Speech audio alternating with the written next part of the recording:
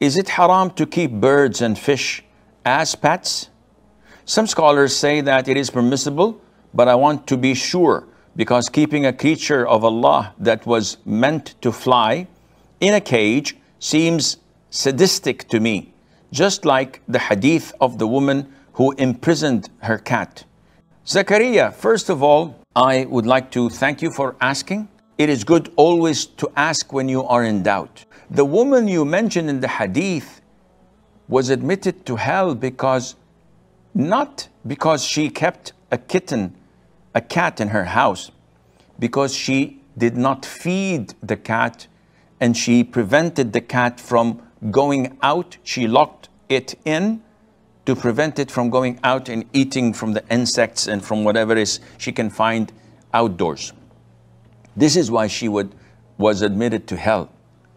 Keeping a, a bird in a cage, keeping fish in a fish tank, in an aquarium. This is permissible as long as you're feeding it and taking care of it and not torturing it or allowing children to abuse it. This is totally permissible.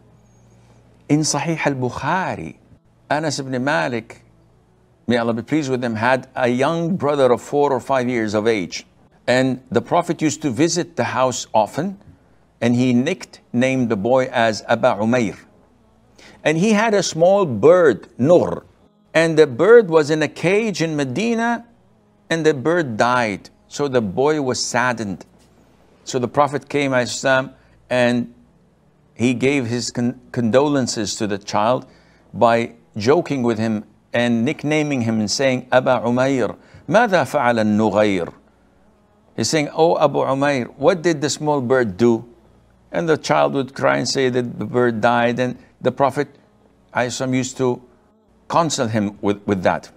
This is totally permissible to have a bird in your house, to have an aquarium in your house.